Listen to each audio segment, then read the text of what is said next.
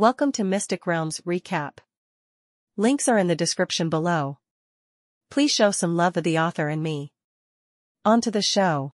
Everyone, please be in your best behavior, Lux said as he looked at his companions. We will be dining with the Orc Chieftain. Our purpose for coming here in the Blackrock clan's main stronghold is still not known to them. Baranar said that he already mentioned our goal of coming here to their Orc Chieftain. I don't know if they will become hostile or not, so be prepared to teleport to the guild headquarters at a moment's notice. Do I make myself clear? Everyone nodded their heads with the exception of Cephas, who would remain in the residence because of his injuries. Are you just going to leave me here? Cephas asked after hearing the half-elf's plan. Lux shook his head. I won't leave you behind.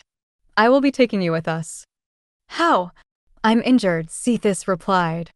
Lux smirked before pointing at the baby slime that was perched on top of his head.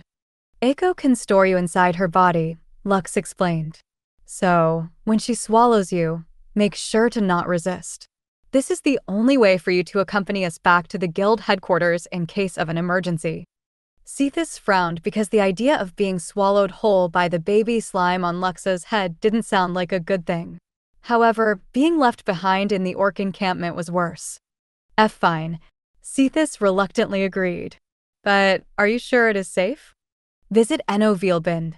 C slash M for the L test updates. Yes, Lux replied. We have done it once in the past. When the red-headed teenager rescued the dwarf princess from the members of Twilight Reign, he made sure to bring the son of the Baron, Clyde, with him. Back then, the dwarf boy was unconscious, so Eiko didn't have any problem storing him inside her body. Of course, Lux didn't know what it was like to be inside Eiko's body because he never experienced it before. All he knew was that as long as Cephas was with his baby slime, they would be able to escape immediately if need be. Eiko, go eat him up. Pa. The baby slime jumped off the half-elf's head and landed beside Cephas. She then opened up her mouth widely and sucked up the dragonborn as if he was some kind of fruit juice. Oh, huh. Laura and Livia were amazed after seeing such a scene. They didn't know that Eiko was capable of such a feat and wondered if their own baby slimes could do the same thing. Cora, can you do that? Laura asked her baby slime, and the latter shook her head firmly. Nora, can you? Livia patted her baby slime's head, and Nora only shook her head as a reply. After completing her mission, Eiko crawled back up to her papa's head and hummed happily. Clearly, she was very happy whenever she helped Lux with something. Five minutes after Cephas had been swallowed up by Eiko, Lux and his party heard a knock on the door of their residence. I have come to pick you all up, the orc shaman who had escorted Lux and the others to their residence said through the door. Let's go. Her Excellency doesn't like to be kept waiting. Lux exchanged glances with his comrades, and all of them nodded back at him. They had already made their preparations for the worst case scenario. Their only hope was that the Blackrock clan wouldn't turn hostile the moment they stated their purpose for coming to the capital city of the Orcs. Inside the main hall of the stronghold. It is an honor to be invited to dine with you, Your Excellency, Lux said as he bowed respectfully to the Orc chieftain of the Blackrock clan. My name is Lux von Kaiser, and these are my companions. We thank you for your hospitality. Raise your head, Lux von Kaiser, the Orc chieftain replied. You're a guest, and we don't want our guests to be bowing their heads excessively now, do we? Lux did as he was told and gazed at the orc chieftain, who was looking back at him with a smile. Barca sat on her right side, while Flamma sat on the left. The half-orc was looking at Lux with a determined gaze as if he wanted to bite the red-headed teenager's head off. The other orc warlords were also in the room and sat at the sides. Just like their orc chieftain, all of them were eyeing the half-elf with critical gazes as if they wanted to dissect him from head to foot, with the exception of Baranar, who seemed to be in a very good mood. Your performance earlier was noteworthy, the Orc chieftain stated. Although you still haven't become a ranker, your future is quite promising. Oh, where are my manners? I am the Orc chieftain of the Blackrock clan. I will personally allow you to call me Lady Aviana. It is a pleasure to make your acquaintance, young Lux. Lux was about to offer another bow, but stopped himself in time because he remembered the orc chieftain's words earlier about bowing excessively. Lady Aviana, thank you for allowing us to dine in your presence, Lux replied. Lady Aviana nodded and made a gesture for Lux and his friends to sit at the table that was prepared for them. As soon as everyone was properly seated, the orc chieftain clapped her hands. A few seconds later, several orc ladies entered the room carrying food platters, which they placed on each table. It didn't take long before everyone's tables were filled with many orc delicacies. There were several dishes that they had never seen before, but after using his soul book, the half elf found out that all of them were safe to eat. The orc chieftain was being considerate and only gave them food that could be eaten by humans, which were roasted fowl and wild boar stew. Several sliced fruits were also laid out for them, which made Laura and Livia very happy. Humans and dwarves have this tradition of toasting others during special occasions, Lady Aviana said as she raised her wine cup. Since we rarely have guests, I call for a toast for everyone's good health. Cheers! Cheers! Everyone also raised their cups and drank heartily. Naturally, Lux and the other youngsters didn't drink wine. Only Randolph and Grandma Annie drank them because their tolerance for alcoholic beverages were quite high. Lady Aviana officially declared the feast to begin, so everyone just ate for the time being. Lux felt as if this was the calm before the storm, so he made sure to enjoy the meal in front of him, as if it was his last. When the feast was halfway done, Lady Aviana placed her wine cup on top of the table and asked Lux the question that had been on her mind since Baranar brought them to the orc capital of Litterbraff.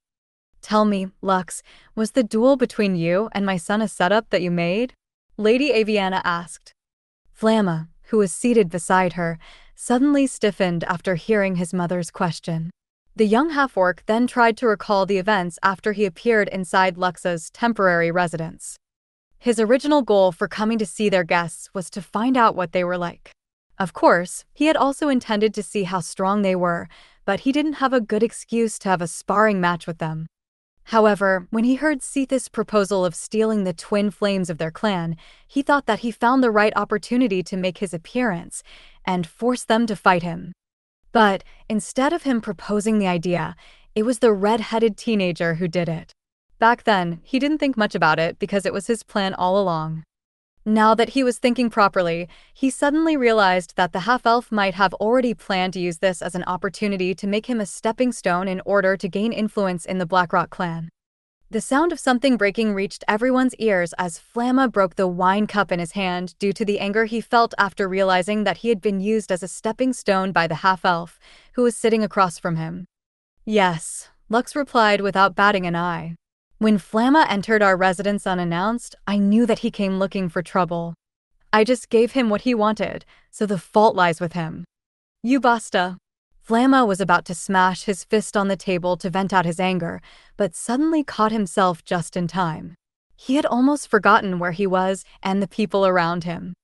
Fortunately, he didn't smash the table because his parents were also eating at the same table. If he weren't able to stop himself, the one who would get smashed next would definitely be him. Because of this, he had no choice but to rein in his anger and glared hatefully at the shameless half-elf, who even winked in his direction. Baranar has already told me that you and your group have come here for the twin flames, Lady Aviana stated. Many have come before you, and all of them left empty-handed.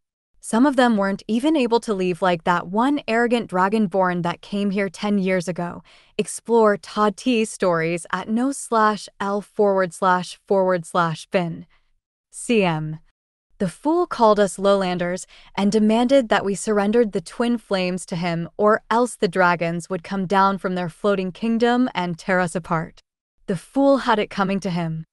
Lady Aviana then gave the half-elf a devilish smile as she lightly tapped the armrest of her chair. So, do you think you have what it takes to take our twin flames from us, Lux? Lady Aviana asked. As long as the possibility exists, we will strive to take the twin flames, Lux replied. Lord Baranar already told us the conditions for acquiring the transcendent flames. The first one is to defeat His Excellency Barca. However, it is impossible for any of us to accomplish such a thing. Lady Aviana nodded. So, you plan to do the second option, am I right? Yes, Lady Aviana. Good luck with that. The Orc warlords, with the exception of Baranar, all chuckled because they knew that it was impossible for Lux to gain an accomplishment that would make the entirety of the Blackrock clan acknowledge him. A feat that would be as amazing as the Twin Flames, which they had protected for more than half a century. Even Flam laughed at the half elf because he, too, didn't believe that the one who defeated him was capable of doing such a thing. It was at that moment when Baranar spoke up, making his companions look at him in a weird manner. If these were ordinary times, then yes, it is impossible for our guests to accomplish such a task, Baranar stated. But these are not ordinary times. The great orc shaman paused as he twirled the wine inside his wine cup, catching everyone's attention. We are at war, and I have a feeling that in this war, the humans have prepared adequately in order to bypass our defenses, the great orc shaman continued. Also, our allies may use this opportunity to weaken our clan considerably before they come in to help us. Right now, we have our backs against the wall. On one side, we have the Hakka dynasty. On the other side, we have our allies, who didn't wish for our clan to grow stronger. Perhaps they are afraid that we are going to expand our domain in the Wanted Kingdom when we reach a certain point. The other orc warlords stopped laughing, and their expressions became solemn after hearing Baranar's words. They knew that their clan was strong, but right now, it was not enough to single handedly resist the upcoming human invasion, who greatly outnumbered them by a hundred to one. Barca and Lady Aviana, who didn't join the orc warlords in their laughter, only smiled. They were not fools. Both of them already made a contingency plan if things went south. Their plan was to evacuate the orcs from the western border and retreat deeper inside the Wanted Kingdom. Once the human armies penetrated deep inside their territory, the other pillars could no longer watch idly from the side and would be forced to unite and repel the invaders back to their homelands. When everyone had quieted down, Lady Aviana once again spoke in order to catch everyone's attention. Our great orc shaman is right, Lady Aviana commented. We used to live in peaceful times, so there was no opportunity for outsiders to do anything that could impress the entirety of the Blackrock clan. However, we are now at war. If he can do something that will earn everyone's recognition, then it will be possible for us to loan them the twin flames. Lux's ears perked up when he heard the word loan. Clearly, the Orc chieftain had no intention of fully relinquishing the twin flames to outsiders. Although this arrangement wasn't part of the plan he had in mind, the half elf could tell that this was the best compromise that the Blackrock clan would be willing to give them. We orcs follow the law of the jungle, Barca stated. Only the strong will prevail. If he can really do something in this war, then we will consider his appeal. However, it must be truly something great. For example, kidnapping the king of the Hakka dynasty and dragging him back here to Litterbraff. Wait, I have a better idea, the Orc Raider, Tanaber, said with a smirk. If he can single-handedly wipe out the entirety of the Hakka dynasty's army, then I will acknowledge it as a great feat. Oh! This is a good idea, Mogazer commented. I will agree to this as well. If he's able to accomplish such a thing, he will get my acknowledgement. Oreg, the orc warlord berserker, crossed his arms over his chest. Back in the Dungeon of Dominion, Oreg had died. However, in the true history of the Blackrock clan, he didn't die, which allowed the Blackrock clan to retain the strength of its orc berserker warriors. I, too, will recognize him if he manages to accomplish this grand undertaking, Flamma declared. I will even call him master and become his subordinate if that were to happen. Lux's companions glanced at their leader with worried gazes because they didn't know how the half elf would reply to the challenge given to him by the orcs. The red headed teenager simply remained silent and allowed the higher UPS of the Blackrock clan to underestimate him. The only one who knew of his true profession was Baranar. Everyone else just thought of the red headed teenager as a summoner that could summon slightly powerful creatures that allowed him to defeat Deimos ranked creatures and below. What they didn't know was that the half elf was laughing inside his heart. This wasn't the first time that Lux fought in a large scale war. After his last battle in the Sacred Dungeon, the half elf had fully understood what his undead legion was capable of doing. For now, he simply endured the ridicule that Flamma and the other warlords were hurling in his direction. Only Barca and Lady Aviana felt the silent confidence that was oozing out of the half-elf's body, which made them feel that they might have made the wrong decision, and unknowingly invited a wolf in sheep's clothing to join them for dinner. Previous chapter. Next chapter. Report chapter comments. Tip. You can use left, right, A and D keyboard. I thought the half-elf would be intimidated upon hearing the others say that they would only recognize him if he managed to wipe out the entire army of the Hakka dynasty, Barca said as he laid down on the huge bed. But his reaction and his body language earlier made me feel like such a requirement wasn't a big deal to him. Lady Aviana nodded as she looked outside the window of their room with her arms crossed over her chest. That boy isn't simple. The storage ring he offered to me as a gift earlier contained 10 draconium ores, Lady Aviana stated. This alone proves that he has a strong backing. But I just can't imagine him accomplishing a feat that would make the entire clan recognize his achievements. True, beating Flamma in the duel earned him some kind of recognition, as well as respect from the tribe. However, that alone will not suffice for them to have a unanimous decision of giving away the twin flames.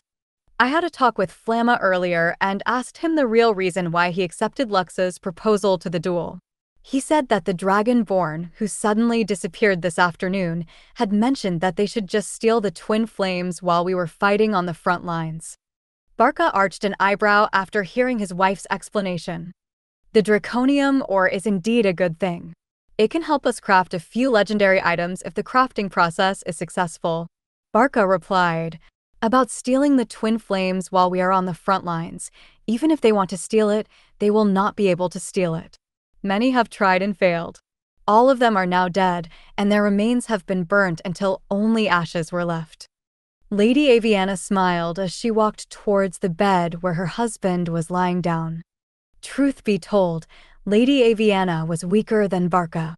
The only reason why she sat at the helm of the Blackrock clan was due to her being an exceptional strategist.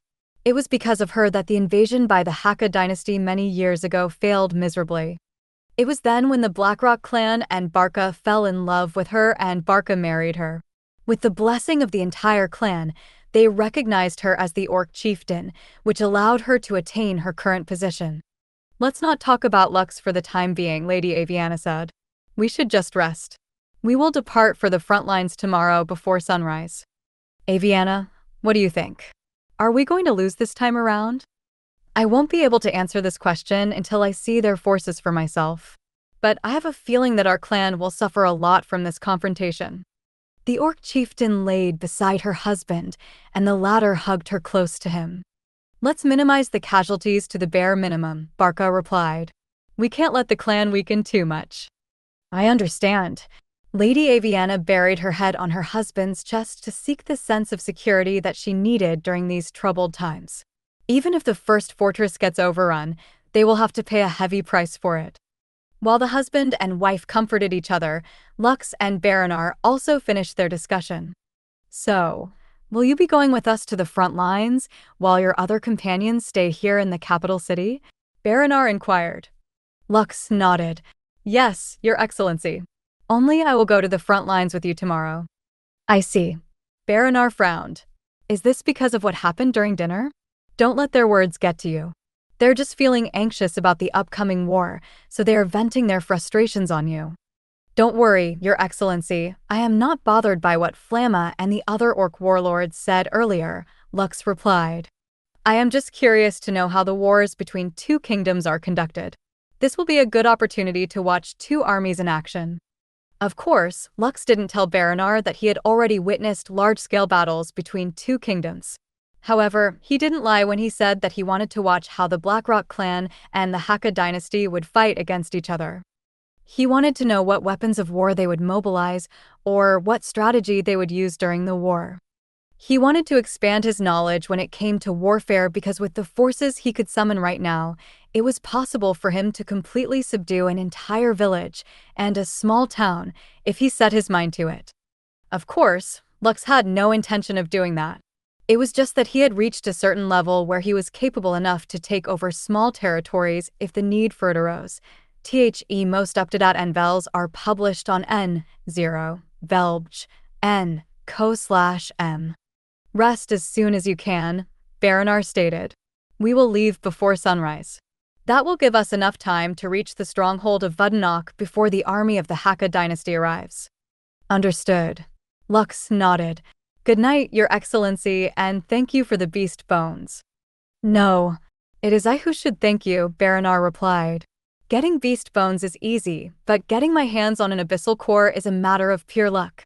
Well then, see you in a few hours. The great orc shaman left Lux's residence to return to his own quarters.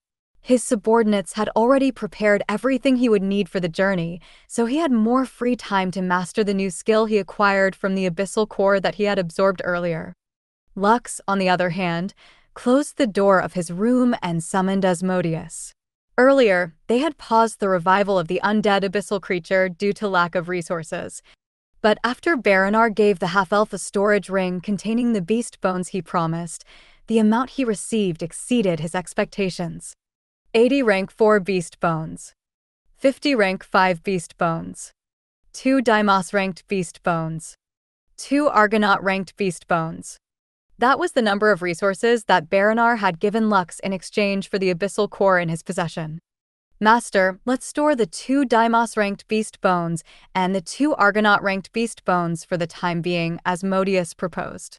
It will be best if you use the skill Animate Undead to revive them when you become a ranker. That way, most of their rank will be preserved. Sounds like a plan. Lux agreed with the Archlich's proposal.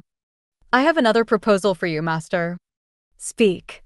Asmodeus smirked.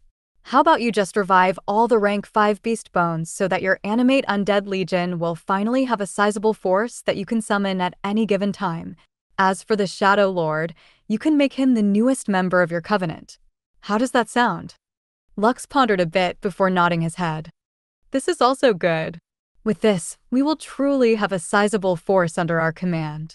Lux replied, Right now, most of my summons, like the skeleton gangbangers, are rank 4 monsters.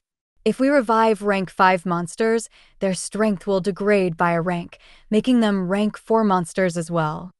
As for making the Shadow Lord a new member of the Covenant, I think this is good as well. Each member of the Covenant can have their own subordinates, and I have a feeling that our new ally would be able to demonstrate his true might if he can command his own forces in battle.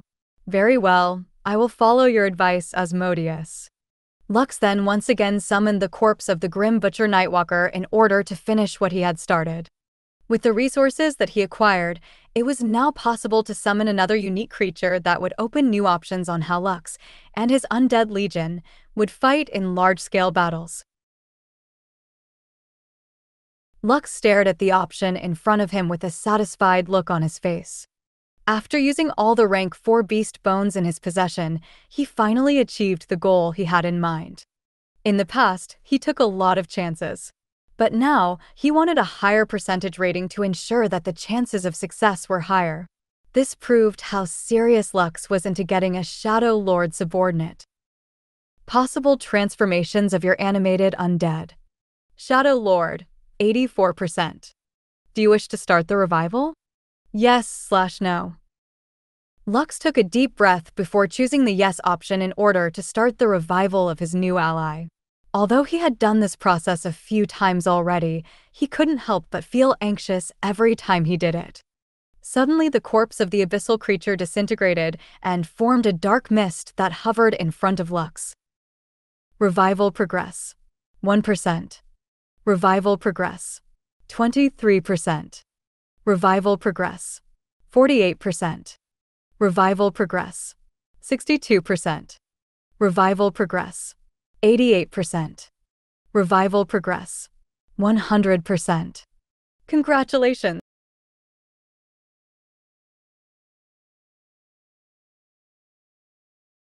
You have made the Shadow Lord a new member of your covenant. Please give him a name. A two meter tall creature, whose face was hidden by the hood covering its face, stood in front of Lux.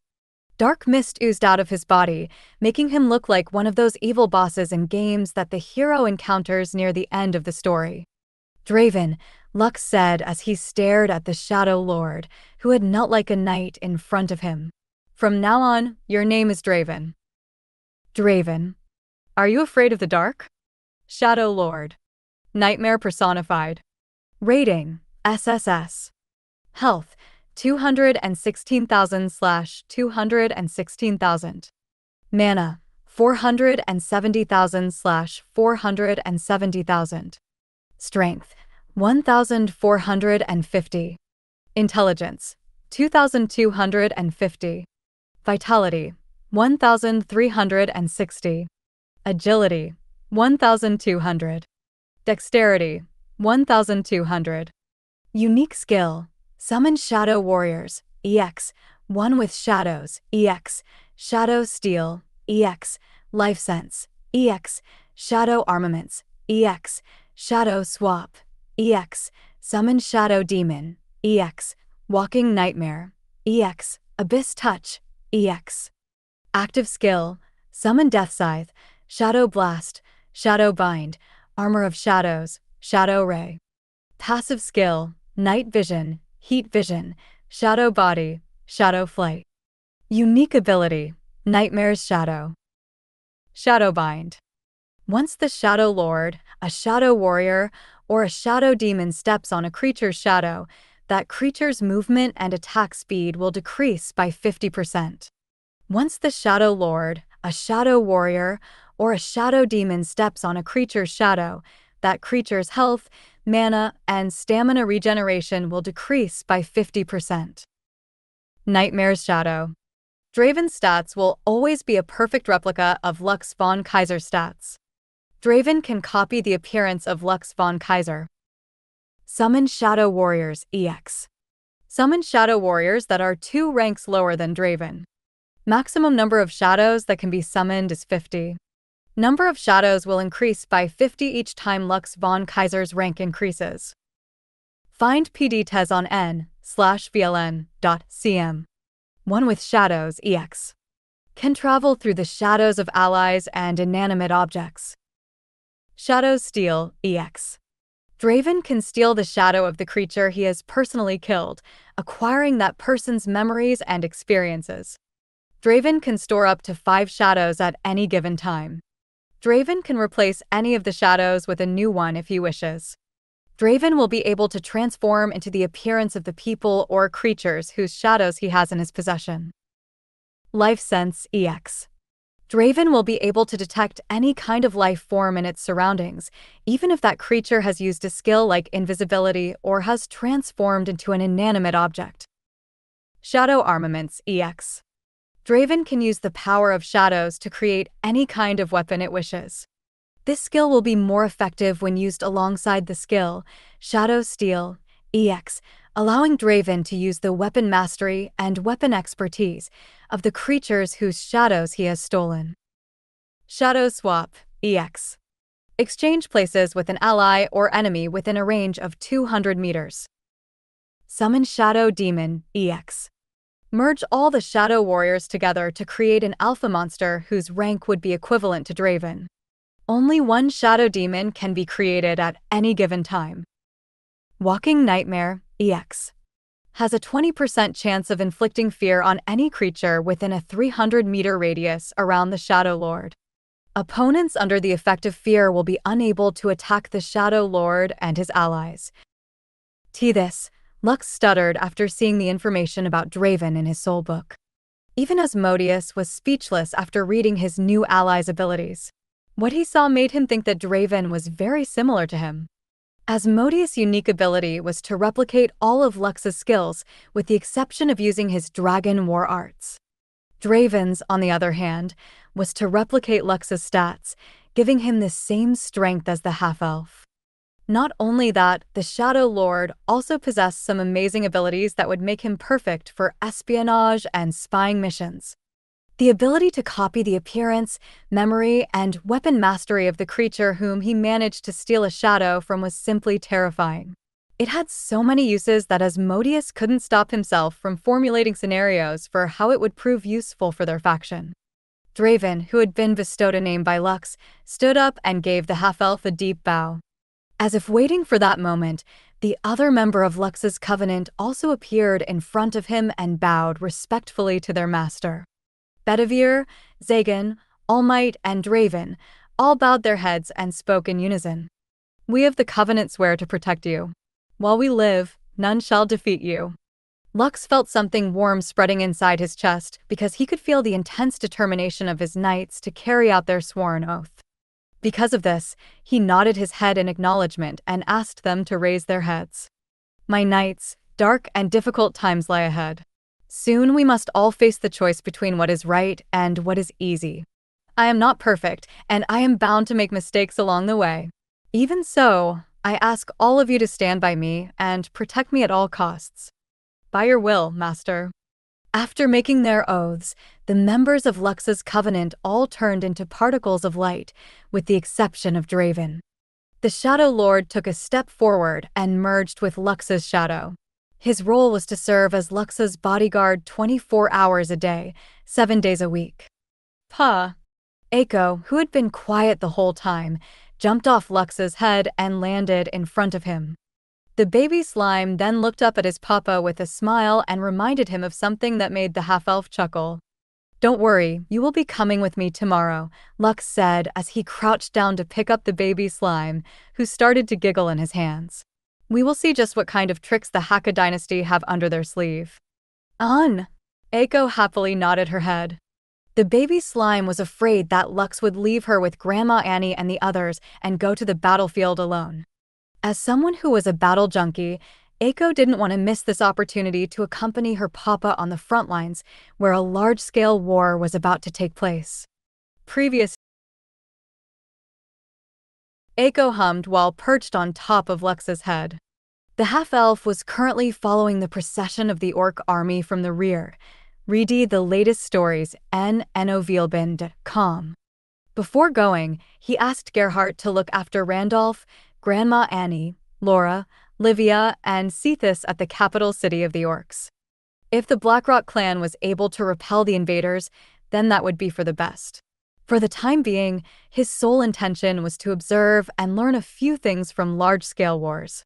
Lux had also expected that the last gate of the sacred dungeon, the Gate of Famine, would revolve around wars.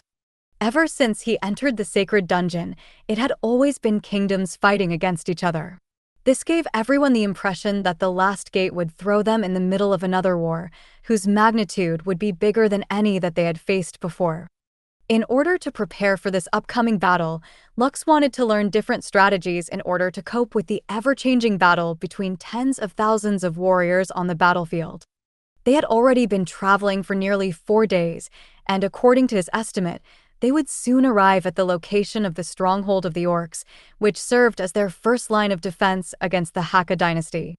Suddenly, the sound of a horn spread in the surroundings, making the Orcs hasten their advance. Lux didn't know the meaning behind it, but the Orcs who were in front of him suddenly started to jog and then run at full speed. It was then that Lux saw it. In the distance, black smoke was rising up the sky. It was so thick that it could only mean one thing Something was burning, and that something was something very big. Jed, let's fly. Lux ordered his Thunder Warg King, and the latter obeyed his command. After rising in the air, Lux saw in the distance that the stronghold of the orcs was burning. Loud rumbling sounds of explosions reached his ears, proving that a battle was currently underway. Just based on the thick smoke that was rising from the fortress, the half elf inferred that the battle had been going on for quite some time, and the one on the losing end was the orcs. While the entire Blackrock clan was hurrying, several individuals had already charged up ahead in order to reach the stronghold as quickly as possible. Barca was at the lead, followed closely by Lady Aviana.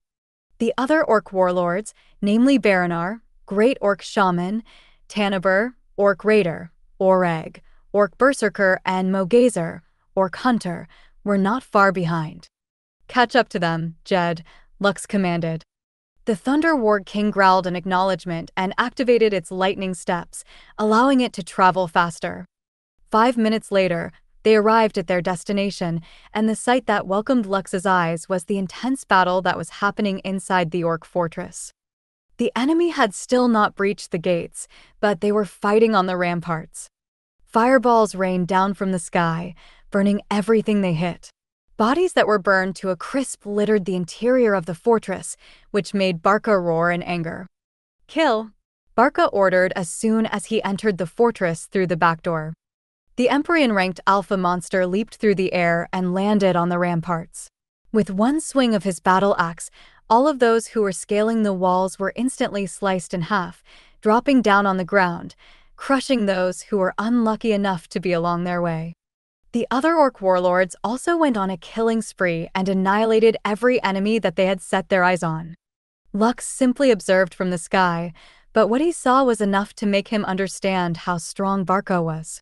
He's really different from the Barca I once knew, Lux thought as he looked at the half-orc, whose bloodshot eyes thirsted for the blood of his enemies. As if waiting for that moment, several horns were blown, giving the signal for the army of the Hakka dynasty to retreat. However, Barca, who was enraged by the death of his kinsman, jumped off the ramparts in order to follow the retreating soldiers.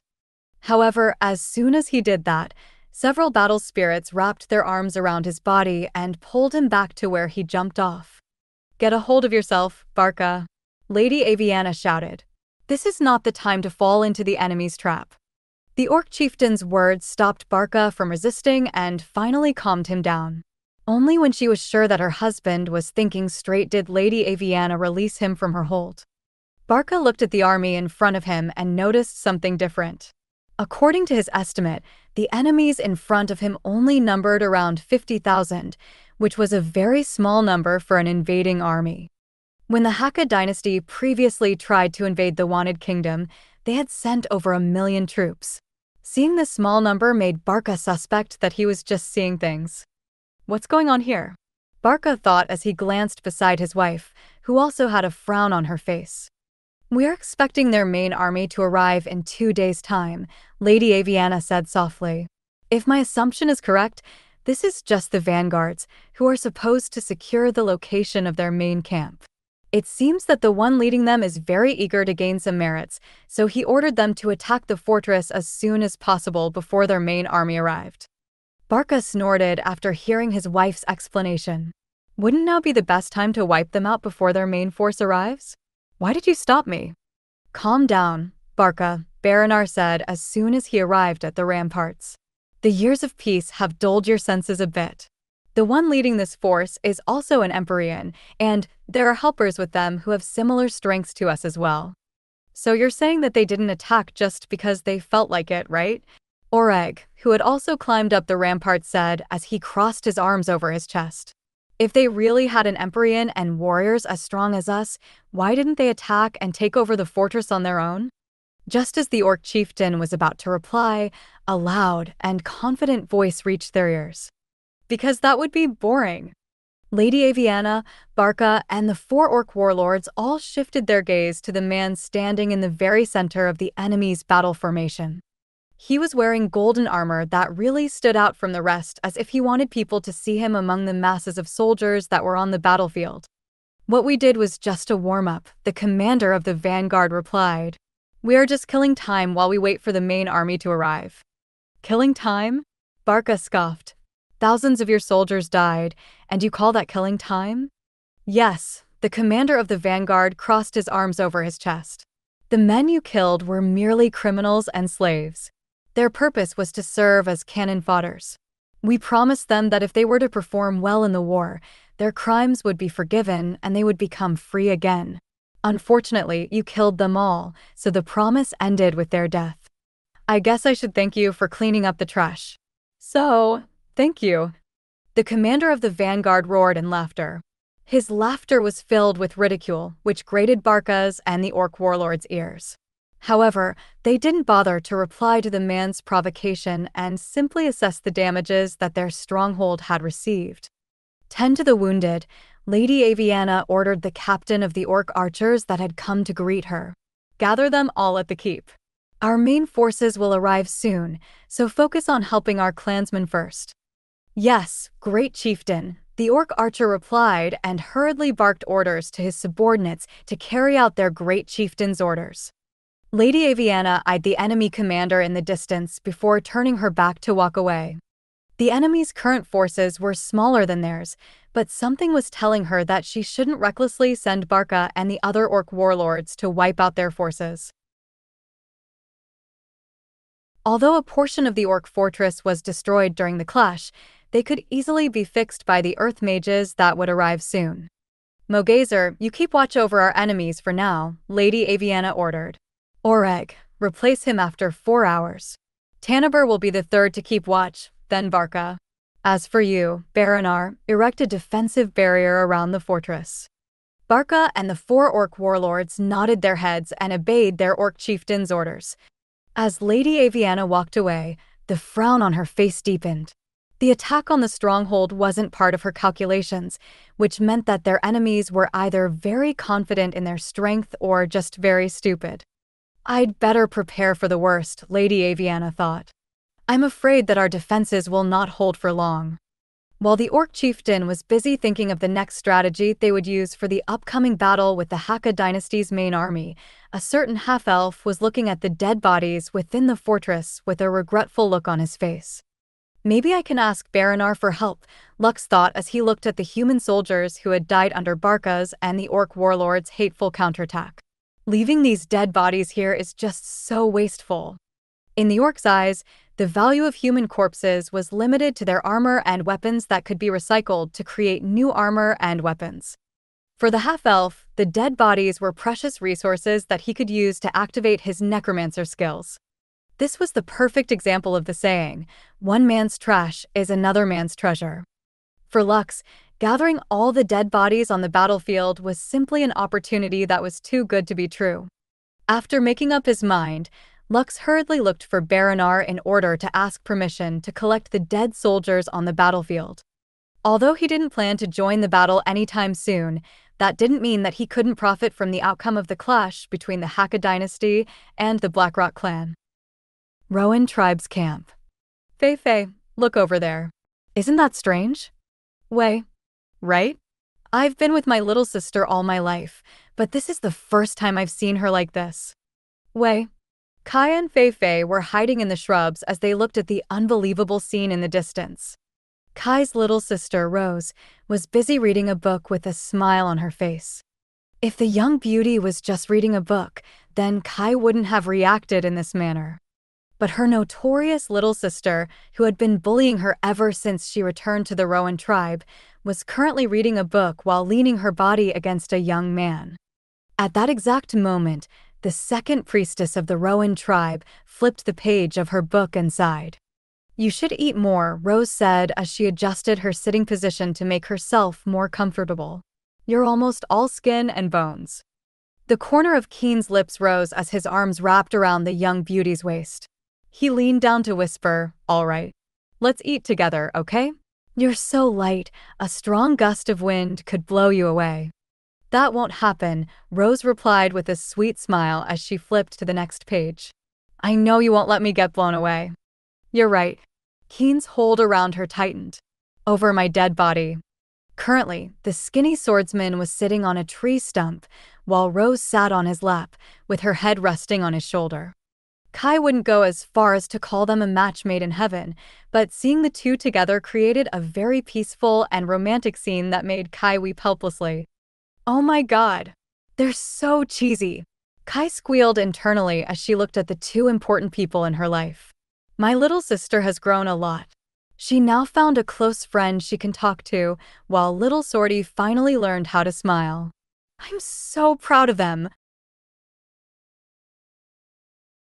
The more Kai looked at the two, the more she realized that Keen and Rose complemented each other. Truth be told, Rose wasn't really a violent lady. She was strong willed and did what she thought was right. Most of the time, she just wanted to read a good book in silence, letting the time fly past her. Keen, on the other hand, was someone who was in pursuit of inner peace. He would often meditate alone and be one with his surroundings in the hope that he would attain enlightenment in order to be a step closer to the peace he was looking for. Kai loved Rose very much, so she wanted to find the latter a good man. This was why she was actively recruiting members for the League of Extraordinary Gentlemen. Her goal was to find a suitable groom for her sister who would love and take care of her for the rest of her life. Oh, what should I do? Should I tell Grandpa? Kai thought before shaking her head. No, this is a very sensitive topic. Gramps might kick little Sortie out of the Rowan tribe if he finds out. Um, I'll just keep quiet for now and watch how things play out. Wait, maybe I should ask a friend in the guild chat. I wonder how they are doing right now. After opening her guild chat, Kai immediately sent a message to Grandma Annie, asking her for advice.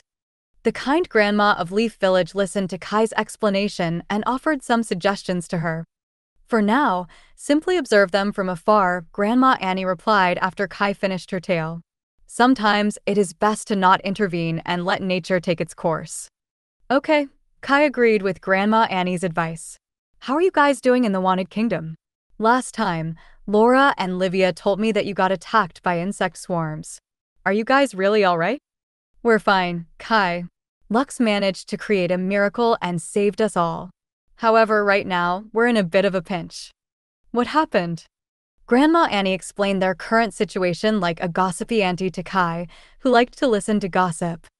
As expected of Lux, Kai commented after Grandma Annie finished her story. Well, I just hope that you guys will be able to accomplish your mission in the Wanted Kingdom. We are preparing a birthday party for when Lux returns, so he better come home in one piece or else Iris will kill him even if he is already dead. Truth be told, Kai had just celebrated her birthday a few days ago. Rose was 16 and Kai was 18. The boar celebrated her birthday surrounded by family and friends. Iris even came to the Rowan tribe in order to participate in the festivities. Kai had strictly forbidden everyone, especially the members of Lux's guild, to tell the half elf about her birthday. The high priestess of the Rowan tribe understood that Lux had many things to do, and he simply didn't have time to celebrate her birthday with her. However, Kai was fine with that. For some reason, she didn't want to tell the half elf that she had gotten a year older. Lux's birthday was coming up, and he would become 17 soon. She planned to prepare a nice present for the red-headed teenager, which would make the other party feel touched. In order to do that, she collaborated with Iris and asked for the things that Lux liked.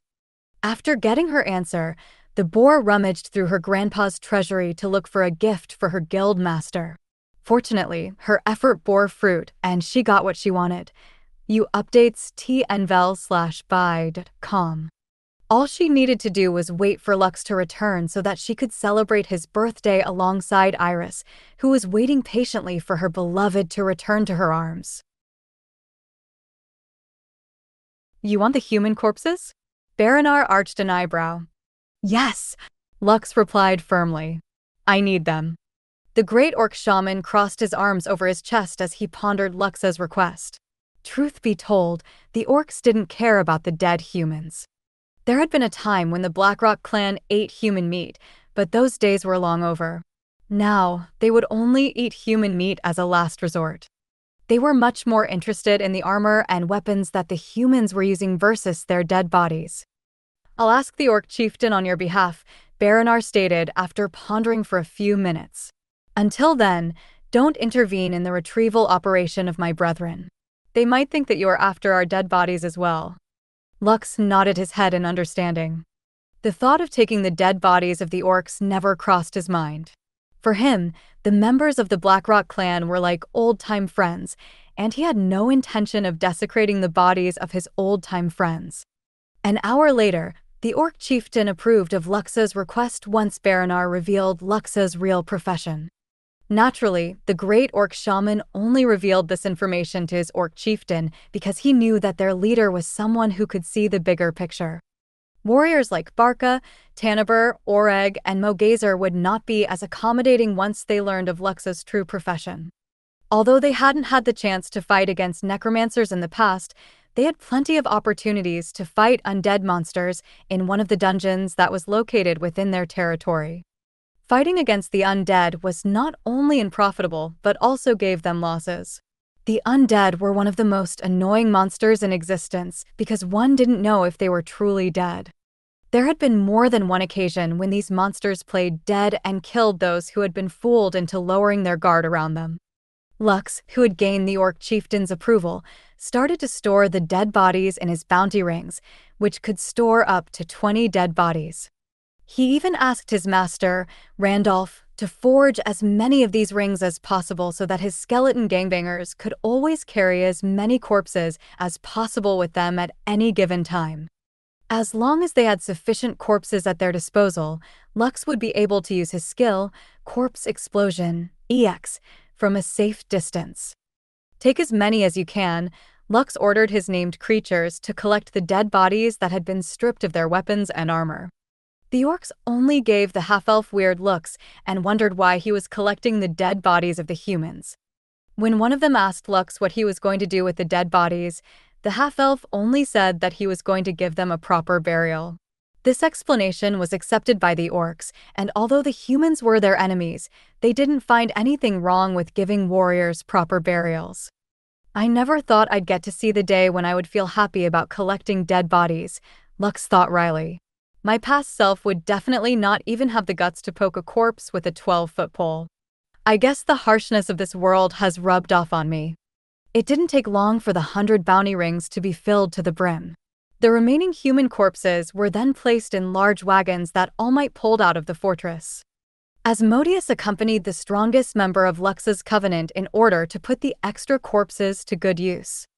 What the Archlich was planning to do was to summon his liches to revive the dead bodies to make them part of their army. Of course, doing this inside the Orc fortress would cause a commotion, so they intended to do it a good distance away from the watchful eyes of the Blackrock clan. Hours passed and the standoff between the vanguard of the Hakka dynasty and the Blackrock clan was still in effect. The warriors that had left the capital city of the Orcs were now all inside the fortress and had taken their positions in preparation for the upcoming war. Mogazer, who was keeping close watch on their enemies, narrowed his eyes as he saw flickering lights on the horizon. The sun had just set, and darkness was slowly falling into the land. However, due to his ability to see great distances, the orc hunter of the Blackrock clan noticed a line of torches at the end of his vision, making him take a deep breath. Call the orc chieftain. Mogazer ordered. The main army of the Hakka dynasty has arrived. As soon as he gave the order, the fortress immediately went on high alert as Lady Aviana, Barca, Tanabur, Oreg, and Baranar all came to the ramparts to see the approach of the enemy's main force. To this, Tanabur couldn't help but stutter after seeing the countless lights in the distance, which made his face look grim. By Macha's name, are we fighting all able-bodied men and women of the Hakka dynasty? Oreg couldn't help but call upon the name of their war god when he saw the sheer number of enemies they were going to face. In the war 50 years ago, the Hakka dynasty had sent out a little over a million human soldiers to invade their lands. However, right now, he was seeing at least 10 times that number. New asteroids at n slash vel slash b slash i slash and co. Perhaps even more. My worst fears have come to pass, Lady Aviana sighed. It is possible that the Hakka dynasty conquered other lands within that 50 years and used the resources and people of those lands to expand their military might. Now I understand why they dared to attack our camp even though they were just the vanguard of their main army. The orcs inside the fortress all had grim expressions on their faces. They didn't mind dying in battle, but at least they wanted their deaths to be meaningful. Looking at the sheer number of enemies in front of them, they couldn't help but feel as if their clan was fighting alone against the entire world. Lux, who had also joined the others in the ramparts, drew a deep breath as his vision, which could see past through the darkness, landed on the invading army. He once thought that the wars inside the sacred dungeon were bloody enough.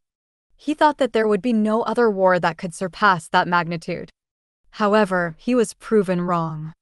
This is no longer a war, Lux thought as he gave Lady Aviana a sidelong glance. This will only be a one-sided massacre, in which the Blackrock clan will be wiped from the face of the Wanted Kingdom. He knew that the orcs were strong. They even had an Empyrean-ranked alpha monster like Barca and several Argonaut-ranked alpha monsters like the Orc Warlords. These orcs could trample entire cities if they wished, but against a force who had similar high-ranking warriors of their own, the number of low-ranked fighters would play a more crucial role than their superiors. That night, the orcs had a high level meeting as tensions inside the fortress rose to unprecedented heights. While this was happening, Lux summoned his plague wing gargoyles and ordered them to scout the enemy's forces under the cover of darkness. Hakka Dynasty Army Camp Commander, let me take my men to raid those orcs in the middle of the night, a man with an eye patch covering his left eye said with a smile. I promise that their little fortress will fall before sunrise. You? Oh, please. We all know that you will just mess this up, a middle aged lady snorted in disdain. It will be best if I lead the night raid. Those orcs will have no idea what hit them. No, it will be me who will destroy their fortress and snap Barca's head off, the commander of the vanguard, who had given the order to attack the fortress a few hours ago, declared. If not for the great general's strict order that I could not personally attack the fortress at that time, it might have already fallen by now. Several men and women scoffed at the vanguard commander, but they couldn't refute his words. He was one of the high rankers of the Hakka dynasty and had proven his mettle through many campaigns over the past decade. Calm down, Ronan, the great general of the Hakka dynasty, Garrett Osborne stated. Our men have traveled nonstop for a few days and need to take proper rest. Besides, they need to see with their own eyes how the Orc fortress will be destroyed. That way, our morale will increase as we head deeper inside the Wanted Kingdom. The great general, who was only in his early 30s, didn't look intimidating, but his calm demeanor was enough to make the arrogant Ronan, as well as the other generals who wished to raze the orc fortress to the ground as soon as possible, nod their heads in agreement. If it is what the great general wishes, then we will definitely obey, Ronan laughed. The orcs are lucky. They get to have some rest before I bash their skulls and tomorrow after breakfast. Garrett smiled before he raised his hand to call one of his trusted subordinates to attend to him. Tell the captains to order their men to eat, so they can rest early, Garrett ordered. You don't have to worry about the watch duty because my personal guards will handle that. We will wage war three days from now, so tell everyone to make necessary preparations for the upcoming battle. Yes, sir. Garrett's trusted aide bowed his head as he carried out the orders of their great general. Ronan eyed the blonde haired man who held the title of Untouchable in the Hakka dynasty. There were rumors that Garrett's eyes, which were as blue as the sky, could see several seconds into the future. Because of this, he could effectively dodge, block, and counter any attacks that were aimed in his direction. Just like Ronan, Garrett was also a high ranker, they had dueled several times in the past, and Ronan had never won even once against the blonde haired man, who was a few years younger than him. Because of this, he respected Garrett very much and listened to whatever he said. What strategy are we going to use in three days? Ronan asked. Earlier, I bluffed Barca to attack me, but their orc chieftain pulled him back in time. Truth be told, I almost wet my pants when he jumped off the ramparts. Fortunately, my confident expression made their chieftain feel guarded, so Barca ended up returning inside the fortress. Garrett gave Ronan a faint smile as he pointed at the emblem ring that was on Ronan's finger. Full zero W current novels on N slash O slash V slash 3L slash B in co slash M. Even if Barca attacked you, you could have protected yourself with our kingdom's national treasure, Garrett replied. That will give you enough time to escape, so you'll be fine. However, your troops would have been annihilated if Barca hadn't been held back by their leader. If that really happened, you would have been demoted for sure, and that treasure would be given away to someone else. You got lucky this time. Ronan wasn't able to refute Garrett's words and only chuckled due to how close he was to being demoted. You still didn't answer my question, Ronan said. What is the strategy we are going to use tomorrow? This time, Garrett didn't reply right away. Instead, he gazed at the orc fortress in the distance as if weighing his chances. Several minutes passed as the great general of the Hakka dynasty stared in the distance. The high ranking officers of the army didn't say anything and simply waited for his reply. They were already used to Garrett's character, and they knew that their leader was thinking of ways to minimize the casualties of their army. Finally, after 10 minutes, Garrett shifted his gaze back to Ronan, who was still waiting for his answer. This will be our first campaign against the Wanted Kingdom after 50 years, and we can't afford to lose many of our men in the clash against the Blackrock clan, Garrett stated. In order to minimize our casualties, we will wait until our allies attack the north of the Wanted Kingdom. While the six other pillars are busy dealing with that threat, we will mobilize our secret weapon and destroy the fortress without having to lose too many of our men. Ronan arched an eyebrow after hearing their great general's reply. Isn't using it now a bit too early? Ronan asked. That is one of our trump cards. Shouldn't we save it until we have entered deep into the Wanted Kingdom? Garrett shook his head. You are underestimating the orcs. Although we greatly outnumber them, Barca and his orc warlords could still annihilate tens of thousands of our soldiers if they decide to go all out. Besides, we still have other trump cards, no. Ronan and the other high rankers of the Hakka dynasty grinned. This war was something that they had planned for many years. Back then, they only wished to get the most valuable resources of the Blackrock clan, which were the Transcendent Flames, as well as carve out a piece of the Wanted Kingdom for themselves. However, the pillars of the Wanted Kingdom weren't pushovers, so they had no choice but to make a hasty retreat after knowing that the war had been lost. This time, they had prepared a massive army that would not only fight against the orcs, but the entirety of the Wanted Kingdom. The funny thing was that they were not the only sovereign nation that was planning to attack the mysterious lands of the spirits. With other nations supporting them from the north, the pillars of the Wanted Kingdom would be too busy fighting on another front. This would prevent them from sending most of their reinforcements to help the Blackrock clan deal with the powerful army that threatened their entire race. Father, just you wait, Garrett thought as he shifted his gaze to the orc fortress in the distance again. I will carry out the will that you left behind. Fifty years ago, Garrett's father was the commander of the army that attacked the Blackrock clan. Although he had survived the war, he suffered grievous injuries and died a year after. Since then, Garrett vowed that he would avenge his father and personally kill the orc chieftain that had orchestrated his father's defeat and humiliation. With his ability to see a few seconds in the future, Garrett was confident that he would be able to counter any trick that the hateful orc chieftain had under her sleeve. What is he doing here? Oreg asked as he looked at the half-elf, who Baranar had brought with him to participate in their high-level meeting. Have you forgotten that this is a meeting for the upcoming battle against the humans? This is not a place for a brat. Baranar just smiled at his comrade as he made a gesture for Lux to sit in one of the corners of the room, which the red-headed teenager obeyed. Don't be like that, Baranar replied. Didn't you make a deal with him that you will recognize him if he manages to subdue the enemy army? Since that is the case, I think it's good for him to know a little more about the enemies that we will be facing in battle. Who knows? He might even save your life one day. Oreg snorted, but no longer said anything. He gave the half-elf a sidelong glance before shifting his attention back on the table where the map of the battlefield was spread out. Clearly, he didn't believe for a second that there would come a time when Lux would save him. How can a puny initiate save a peak Argonaut alpha beast like him in battle? Tanaber and Mogazer also gave the half-elf sidelong glances before setting their sights on the map in front of them. It was at that moment when Lady Aviana cleared her throat and started their meeting. First, I have bad news to tell everyone, Lady Aviana said with a solemn expression on her face. According to my contracted spirits, the human army comprises nearly 10 million soldiers.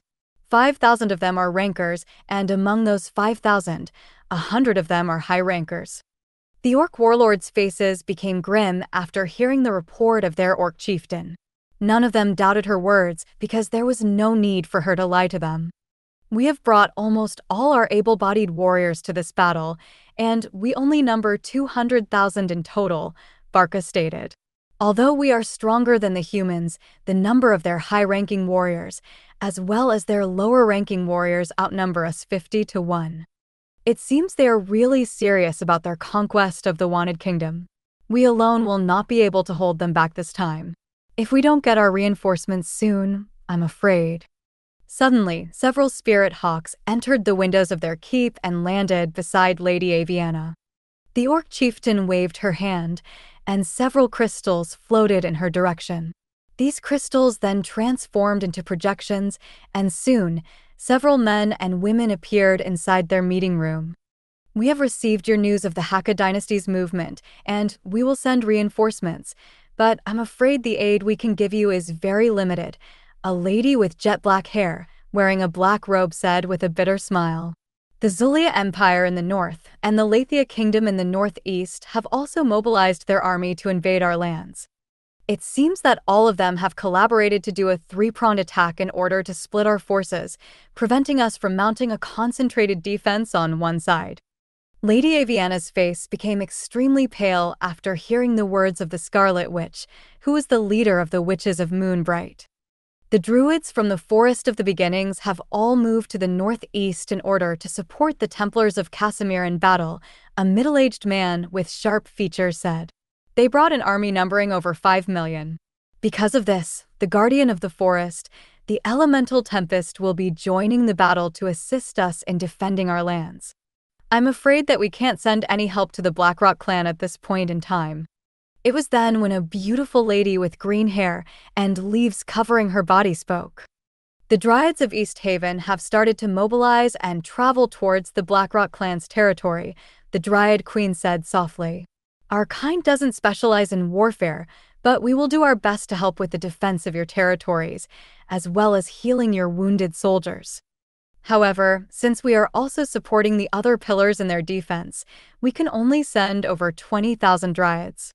I'm afraid that this is the best that we can do. We are simply stretched too thin at the moment. Lady Aviana gave the Dryad Queen a grateful bow. The Dryads could only fight in places with lush forests and greenery. Although the Blackrock clan's valley was very rich in flora and fauna, it was still nothing compared to East Haven, which was the home turf of the Dryads. Suddenly, a creature with humanoid features and blue skin spoke to tell his good friend some bad news. Aviana, I'm sorry, but the Jinns of Valefor will not be able to offer you our assistance. We are facing the Zulia Empire, who have also mobilized over 5 million troops. The Harpies of Airedale will assist us in battle, and even then, we will be hard pressed on defending our lands. Because of this, I cannot help you, my dear friend, Aviana. The orc chieftain sighed as she gave her old friend a bitter smile. These are difficult times, Zepan, Lady Aviana replied. I know that everyone has their difficulties, and I understand that you will not be able to send us reinforcements. But know this the Blackrock clan is facing an unprecedented army that numbers over 10 million. I'm afraid that even with the help of the Dryads of East Haven, we will not be able to hold them back for long. All the rulers of the Pillars of the Wanted Kingdom cried out in alarm after hearing the Orc chieftain's words. T10 million? The Scarlet Witch covered her lips with her delicate hand as she looked at Lady Aviana in disbelief. The expression of the other heads of the different pillars also became grim after hearing the number of troops that the Hakka dynasty had mobilized to conquer their lands. Damn it! Zepan, the head of the Jinns cursed. How despicable! They really intend to wipe us off the map of the Arondite territory. This is really bad news, the champion of the Templars of Casimir said through gritted teeth. Although he and the other pillars sometimes had conflicts with each other, none of them wanted one of the pillars to be completely extinguished because they represented the stability of the Wanted Kingdom. Now that the Blackrock clan was facing an army whose numbers were almost twice of what they were facing, all of them understood how dire the Blackrock clan's situation really was. Can you hold them off? The middle aged man, who was the patriarch of the Druids of the Forest of Beginnings, asked. Lady Aviana shook her head. We might be able to delay their advance, but we can't hold them off. Our only chance of winning is if those ambitious clans and families that were greedily eyeing our positions in the past will extend their hand to help us. Aside from that, I'm afraid that our western borders will fall to the Hakka dynasty. The pillars of the Wanted Kingdom all quieted down as they digested the information that Lady Aviana shared with them. I will send my representatives to talk to them, the champion of the Templars of Casimir said. If they don't lend their aid, then. The champion's eyes glinted with killing intent, which all of his peers saw clearly. Although all of the pillars were strong, they all agreed that the strongest fighter in the Wanted Kingdom was the champion of the Templars, whom even Barca couldn't defeat in a one on one battle. We will defend for as long as we can, Lady Aviana said in a firm voice as he pressed her hands together. So, use this time to send as many reinforcements to the west as possible. May the spirits of the wanted kingdom watch over all of you. The other pillars also pressed their hands together as they repeated the custom of their kingdom. May the spirits of the wanted kingdom watch over all of you. One by one, the projections disappeared, and the spirit hawks screeched as the crystals returned to their possessions. They then soared out the window and flew under the cover of darkness, up TED chapters N and Velbin calm. War had come, attacking them from all sides, and the only thing they could hope for was that they would be able to weather the storm that was about to make landfall on their kingdom. It seems that aside from the Dryads from East Haven, we are on our own, Lady Aviana said softly as she looked down on the map on the table. Barca and the other orc warlords also looked at the map with critical eyes. This was a map that shows the entirety of the western region of the Wanted Kingdom.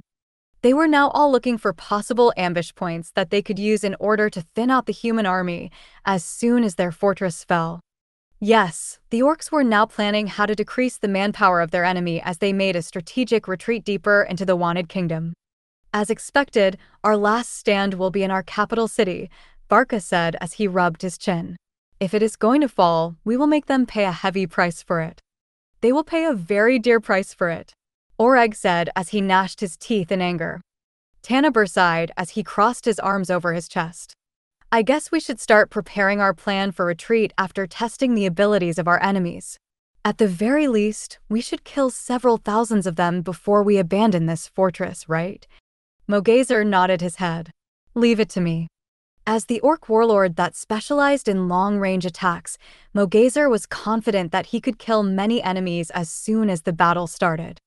Baranar, whose main role in the upcoming battle was to help maintain the magical shield of the fortress, closed his eyes as if he was forming a strategy inside his head. The atmosphere inside the room was stifling, but Lux simply listened and watched the reactions of the orc warlords as they discussed their strategy. In the end, the meeting ended with all of them agreeing on using the fortress as a way to better understand their opponents, which Lux thought was the best thing that they could do at the moment. Although their enemies had the advantage in numbers, it would not be easy for them to scale the Orc fortress, now that their strongest warriors were present. To their surprise, the Hakka dynasty's army didn't launch an attack on the next day, or the day after that. Even so, the orcs remained vigilant as they observed the greatest threat that they had ever faced in their lifetime. Finally, on the third day, Mogazer noticed several war machines moving within their enemy's formation. This was the first time he was seeing such weapons of war, and he deemed that these weapons had arrived just a few hours ago. Is this why they didn't attack us right away? Mogazer thought as he took one arrow from his quiver and knocked it on his bow. I better destroy them while I still can. Pulling back the string of his bow to the fullest, the orc hunter eyed one of the war machines that were slowly making their way at the front of the enemy's army. After making sure that his aim was true, the orc hunter released his arrow, creating a whistling sound. Suddenly, the commander of the vanguard army, Ronan, jumped up in the air and blocked the speeding arrow with a golden shield. 7 sit envelb slash end, C slash M for Eltest Vels. A metallic ring resounded in the surroundings as the metallic point of the arrow collided with the shield. Ronan was blown away by the impact, but he was able to regain his balance midair before landing harmlessly on a floating silver shield that materialized out of nowhere. Mogazer snorted as he took three arrows from his quiver and knocked them on his bow simultaneously. A moment later, he unleashed these arrows, targeting three war machines that were out of Ronan's reach. Unfortunately, just like what happened earlier, several high rankers blocked his attack, preventing them from destroying their weapons of war. Unfazed by his setbacks, Mogazer then chanted a few Orcish words, making a magical arrow appear in his hands. He planned to use his strongest area-wide attack, which he was sure would devastate his enemies, who was preventing him from destroying their war machines. Raining stars from the heavens above, hit your mark now. Mogazer channeled his magical energy as he shot his arrow high towards the sky. Starfall Mirage.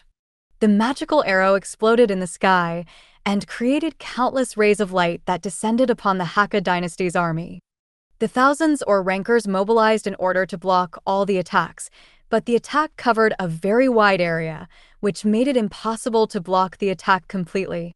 Because of this, dozens of rankers prioritized protecting their magical cannons, which they had prepared just for this battle. The corner of Mogazer's lips curled up into a smile as hundreds of human soldiers were annihilated by his strongest attack. His only regret was that he was unable to destroy a single war machine because the rankers guarded them all with their lives.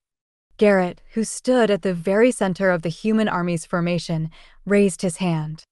One of his aides then issued an order, and several soldiers started to blow the horns they were carrying. Show these monsters that in the face of humanity, their only option is to submit, Garrett stated as all the magical cannons started to gather energy. Mogazer, who was standing on top of the ramparts, became alarmed because the magical cannons were still a mile away from their fortress. No one, aside from him, had the ability to attack their enemy from this distance, and it made him realize why the rankers prioritized defending their war machines instead of their soldiers. Bastards! Mogazer hatefully roared as a silhouette of bow and arrow appeared above his head. If Starfall Mirage was his strongest A attack, he was about to unleash his strongest, single target attack that would obliterate anything it hit. It's useless, Garrett sneered as he saw Mogazer gather magical energy in order to power up the arrow in his hand. Accept your fate, monsters. The 20 magical cannons of the Hakka dynasty all fired at the same time. Mogazer's eyes became bloodshot as he unleashed his strongest attack in order to destroy one of the cannons, as well as kill as many soldiers as possible. The Orc Hunter's arrow met the magical cannonball midair and instantly obliterated it. It then continued its trajectory towards one of the magical cannons at the speed of sound. Due to how fast it was, the rankers failed to react in time, and the arrow hit the magical cannon, destroying it completely. Mogazer's attack was so strong that the explosion also killed the soldiers that were manning the cannon. At that exact moment, the remaining 19 magical cannonballs collided with Baranar's barrier. Before the Orc Hunter could even celebrate his success in destroying one of their enemy's weapon of war, the barrier protecting their fortress cracked, which made Mogazer's body stiffen. Burst fire, Garrett ordered, and the 19 cannons fired another one of its magical cannonballs. However, instead of firing just once, the magical cannons fired twice in quick succession before the beast core that powered the artifact shattered into several fragments. The moment the second batch of cannonballs hit Baranar's barrier, the sound of countless crystal glasses breaking at the same time spread in the surroundings, which made Mogazer hastily order all orc hunters to jump off the ramparts to save their lives. A moment later, the ramparts exploded as the third volley of magical cannonballs hit their targets and destroyed a large chunk of the defensive walls, making Baranar and the orc shamans who were maintaining the barrier cough out blood due to the backlash they received from the enemy's bombardment. Thank you for watching Mystic Realms Recap. Please like, share, and subscribe. Have a great day.